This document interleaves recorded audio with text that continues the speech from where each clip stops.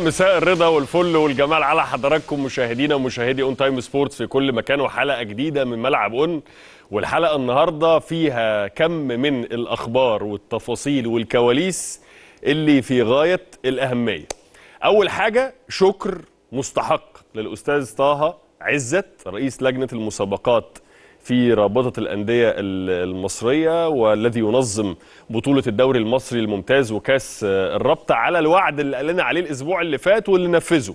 قال لنا إنه بعد نهاية كل جولة سيتم إصدار كل العقوبات التي تخص هذه الجولة لأن إحنا كنا بنقول له إن واحد من أهم المشاكل اللي بتقابلنا إن مفيش time frame مفيش إطار زمني بيتم الإعلان من خلاله عن العقوبات الموقعة. فبالتالي الناس بتحس بإن في كيل بمكيالين وإن في عقوبات بيتم الإسراع في الإعلان عنها وعقوبات أخرى بيتأخر الإعلان عنها. فكل الشكر ليه؟ لأن تم الإعلان عن عقوبات الجولة. وطبعا إحنا ما نتمناش إن في اي عقوبات على أي حد بس تم الإعلان عن العقوبات الخاصة بالجولة الأولى. هنستعرضها مع حضراتكم حالا بعد نهاية لقاءات الجولة الأولى. تم الإعلان عن كل العقوبات الخاصة ب الجولة الأولى ولقاءاتها. مباراة طلائع الجيش والمصري إيقاف إسلام محارب لاعب فريق طلائع الجيش. مباراتين وتوقيع غرامة مالية عليه قيمتها 5000 جنيه.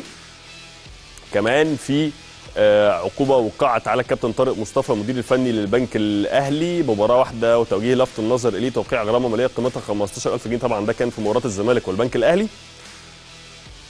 ثم عقوبة في مباراة الإسماعيلي وغزل المحلة إيقاف عبد الرحيم مصطفى العموري لعيب غزل المحلة لمدة مباراة وتوقيع عقوبة مالية عليه قيمتها 5000 جنيه مع تطبيق المادة 54 من لائحة مسابقة دوري نايل موسم 2024 2025 الخاصة بحالات الإنذار الإنذارات على الأجهزة الفنية والإدارية والطبية واللاعبين.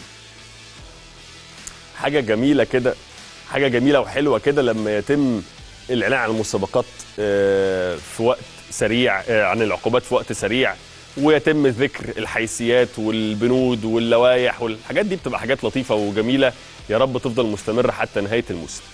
طيب